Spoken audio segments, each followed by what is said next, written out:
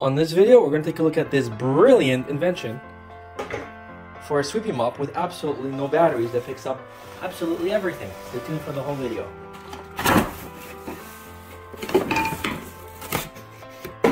Alright guys, so this is the spin broom. At least that's what I call it.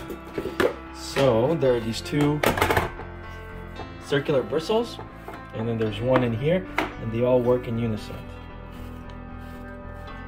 See that? And this little soft pad also helps you clean. And the way it works is the more pressure you apply well the closer you're gonna get to picking up any garbage. Kitty litter um, kibble big pet hair you know absolutely anything. Even bottle caps get picked up. Um, so this gets all the gunk out. This is our second unit by the way. That's why I'm doing the unboxing. Um, and the way you put it together is you take these pieces off, you screw them into each other, and then you're good to go. Now to get all the gunk out, there is this compartment here. You press this out, and all the gunk is going to be here. So that's what you open and you dump in your garbage. Got it? Okay, let's, let's demonstrate it. All right, so we've got a bunch of debris here. We've got some hair. We've got some cardboard pieces, small to big. We've got some plastic pieces, and then we've got some kibble. So we're gonna just dump all this stuff on the floor and then we're gonna pick it all up. Yes, karma. We're cleaning that up, but you can eat it if you like. All right, now the way it works, very easy. You just push it. I'm not applying much pressure because there's wheels at the bottom as well, right? I'm just gonna show you. So there's these wheel wheels here. They're all plastic and then you just push it along and it works. But you can see that even though if I don't push it hard enough away from me, then it stops. So what you want to do is you want to stay close and then you want to apply a little bit of pressure.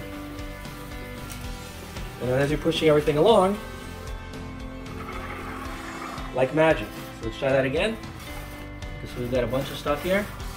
See how it's pushing that in? It's very similar to our vacuum cleaner, our, uh, our Lucy vacuum cleaner, which is like an iRobot. It's got very similar technology, except it's propelled, of course, by a mechanism. But this gets absolutely, there's one piece there, everywhere because it basically just pulls from both sides, anything and everything. Can it get into a little crease like that? Well, not really, because it needs to be moving in order to sweep things up. But it works. Now we have laminate here, but it works obviously on tiles, as well.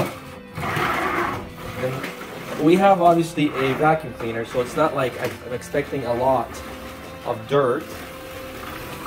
But we also we get tons of debris from this couch because it's leather and it's really old and it's crackly. So every day somebody sits on it, it just gets on the floor.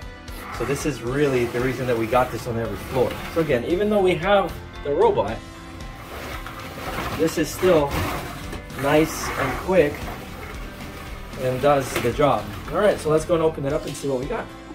All right, and this is all our stuff. And you can see that right here. This is what I was talking about. I don't know if you guys see those little black things. Those are pieces of leather. As an added bonus, there is a loop here so you can hang it. And when it falls against the floor, check that out. This will also fold up like that. So it doesn't just stick out. So we have something here, so we're just gonna hang it. That's gonna go be flat. So there you go. Does it work? Absolutely. Get two, one for each level. Thanks for watching.